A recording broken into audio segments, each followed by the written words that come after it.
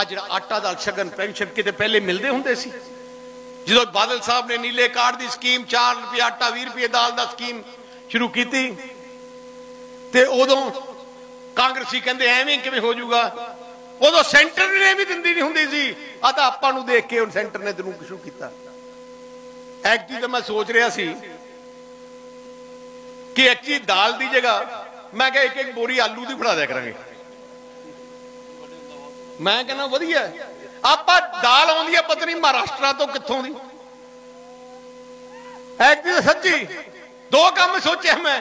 ਇੱਕ ਤਾਂ ਦਾਲ ਦੀ ਜਗ੍ਹਾ ਆਲੂ, ਇੱਕ ਖੰਡ ਦੀ ਜਗ੍ਹਾ ਗੁੜ।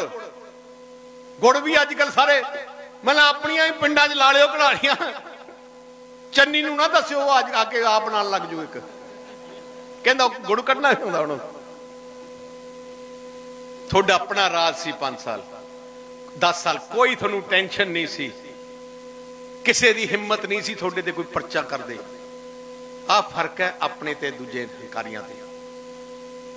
ਆਮ ਆਦਮੀ ਪਾਰਟੀ ਆ ਤੇ ਕਾਂਗਰਸ ਕੋਈ ਫ਼ਰਕ ਨਹੀਂ। ਕੇਜਰੀਵਾਲ ਕਹਿੰਦਾ ਕੁਛ ਹੈ, ਕਰਦਾ ਕੁਛ ਹੈ। ਕੇਜਰੀਵਾਲ ਦਿੱਲੀ ਜਾਂਦਾ ਤੇ ਕਹਿੰਦਾ ਪੰਜਾਬ ਦੇ ਥਰਮਲ ਪਲਾਂਟ ਬੰਦ ਕਰ ਦਿਓ। ਪੰਜਾਬ ਦੇ ਵਿੱਚ ਪਾਣੀ ਇਸ ਵਾਰ ਨਹਿਰ ਕੱਢੋ ਕਿਸਾਨ ਮੈਨੂੰ ਦਿੱਲੀ ਨੂੰ ਪਾਣੀ ਚਾਹੀਦਾ ਹੈ। ਪੰਜਾਬ ਦੇ ਕਿਸਾਨ ਜਿਹੜੇ ਪਰਾਲੀ ਛਾੜਦੇ ਉਹਨਾਂ ਨੂੰ ਜੁਰਮਾਨਾ ਕਰੋ। ਆਈ ਕੇਜਰੀਵਾਲ ਆ ਕੇ ਉੱਥੇ ਕਹਿੰਦਾ ਇੱਥੇ ਆ ਕੇ ਮਿੱਠੀਆਂ ਮਿੱਠੀਆਂ ਮਾਰਦਾ। ਇੱਥੇ ਆ ਕੇ ਕਹਿੰਦਾ, ਮੈਂ ਹਰ ਲੜਕੀ ਨੂੰ 1000 ਰੁਪਇਆ ਦਊਂਗਾ। ਤੇ ਦਿੱਲੀ ਕੋਈ ਦਿੱਤਾ ਹੈ? 100 ਰੁਪਇਆ ਵੀ ਨਹੀਂ ਦਿੱਤਾ 10 ਰੁਪਏ 10 ਸਾਲਾਂ 'ਚ। ਇੱਥੇ ਆ ਕੇ ਕਹਿੰਦਾ ਕਿ ਮੈਂ ਸਾਰੇ ਮੁਲਾਜ਼ਮ ਪੱਕੇ ਕਰ ਦੂੰਗਾ ਦਿੱਲੀ ਵਿੱਚ ਇੱਕ ਮੁਲਾਜ਼ਮ 10 ਸਾਲਾਂ ਪੱਕੇ ਨਹੀਂ ਕੀਤਾ, ਸਾਰੇ ਹੀ ਕੱਚੇ ਆ ਕੰਟਰੈਕਟ ਤੇ ਆ ਦਿੱਲੀ 'ਚ।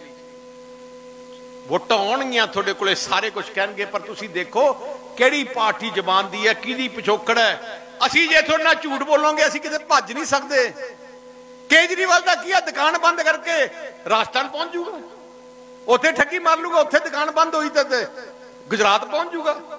ਅਸੀਂ ਤਾਂ ਰਹਿਣਾ ਹੀ ਇੱਥੇ। ਤਾਈਓ ਤੁਸੀਂ ਦੇਖਿਆ ਬਾਦਲ ਸਾਹਿਬ ਪੰਜ ਵਾਰ ਮੁੱਖ ਮੰਤਰੀ ਬਣੇ ਕਿਉਂਕਿ ਜ਼ਬਾਨ ਦੇ ਪੱਕੇ ਸੀ।